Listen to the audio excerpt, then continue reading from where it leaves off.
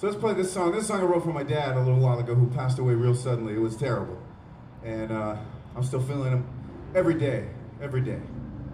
And he knew how much this part of the world meant to me and means to me. The music that comes from here, the people, the culture, the food, the vibes. And so uh, I invite him to be here with us tonight. And I also invite this uh, anybody to hold in your heart, anybody you may have lost that you really care about, we'll send this song out to them right now, okay? Could be an animal, could be a friend, could be anyone, especially over these last two years, right?